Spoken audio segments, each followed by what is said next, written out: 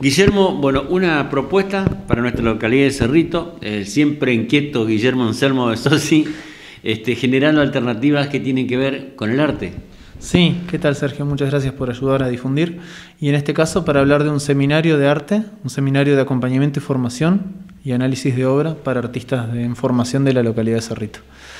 Es una propuesta que surge desde el área de cultura de la municipalidad, en conversación con Malena y con el intendente, José Palacios, a quienes les agradezco la confianza y bueno, la, permitirme difundir mi voz y bueno, y compartir mis conocimientos con los ciudadanos de Cerrito.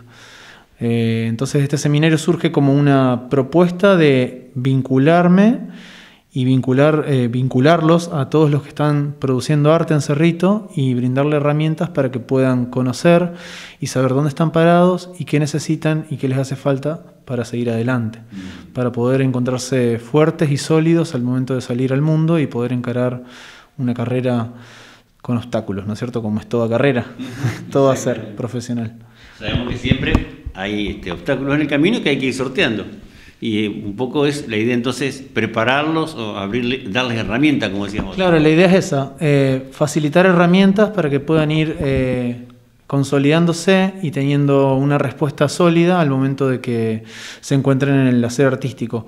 Más que nada esto tiene que ver mucho cómo fue mi formación, que me formé solo, golpeando puertas y caminando, entonces bueno, llega la idea de por qué no aliviar un poco la carga de los que están iniciando y decirle, bueno, si quieren hacer determinadas cosas, que vean que se pueden hacer de determinada manera y conseguir ciertos resultados.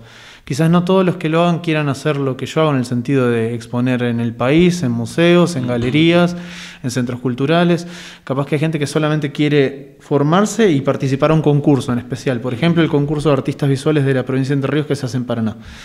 Y hablando con chicas que quieren hacer el curso, artistas en formación, les comentaba esto, qué bueno sería que de 10 que seamos, de 15, haya dos que quieran postularse al Salón de Bellas Artes de Entre Ríos y queden. Puede que queden, pueden que no, que sepan que también él no existe, pero que no bajen los brazos. O sea, pensar en eso, empezar a consolidar y valorar ese, ese esfuerzo que ponen todos y que pueda servir y dar sus frutos. Guillermo, ¿necesitas saber algo de arte para participar en este seminario? ¿Tenés que tener alguna base? La idea es sí, la idea es que este seminario sea como un seminario complementario a híbrido que existe ya desde la municipalidad.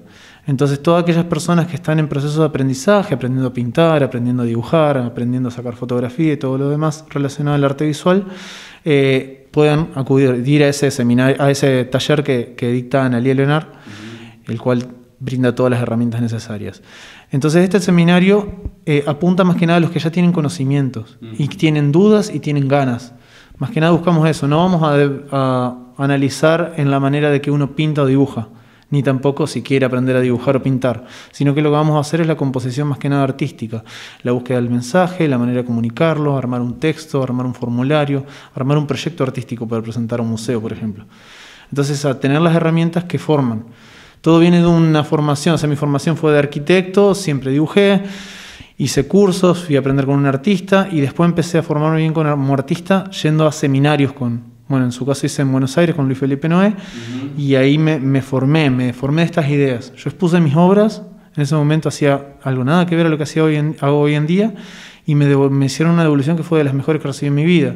Y después seguí en contacto con este artista y me siguió guiando, pero guiando en una guía de no decir qué hacer, sino acompañar y decir, fíjate qué puede ser. O sea, plantear las preguntas para decir, che, ¿estás cómodo con esto? ¿Te sentís cómodo dibujando de esta manera? ¿Te sentís cómodo comunicando este mensaje de esta manera? ¿Por qué no pruebas esto? Entonces, que encuentren ellos eso y también que se encuentre Lamentablemente ahora va a ser virtual y Dios quiera que, podamos hacerlo presencial porque hasta es difícil para mí, he estado dando charlas eh, y por viajes que se me han postergado y demás, y no es lo mismo estar presente o no. O sea, tuve que dar una charla y te perdés el afecto, el cariño, el contacto. Y Entonces, después de la charla, que a veces se dan conversaciones mucho más ricas. Exactamente, el después de la charla y el hablar, el interrumpirse mismo.